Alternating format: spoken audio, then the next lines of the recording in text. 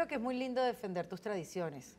Yo, o sea, y María Alejandra también, este, muchos venimos de países y nos hemos tenido que mover y pasar por procesos migratorios y quizás, eh, eh, quizás la tradición para mí tiene un significado, o para muchos un significado diferente.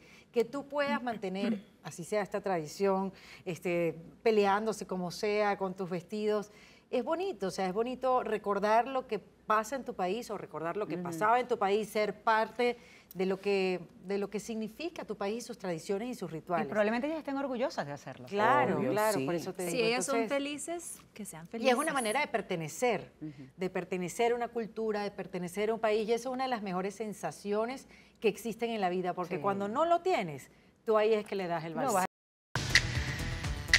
Ojos de mujer.